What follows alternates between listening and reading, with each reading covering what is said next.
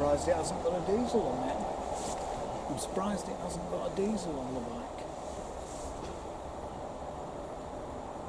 It's a good job you give us a whistle.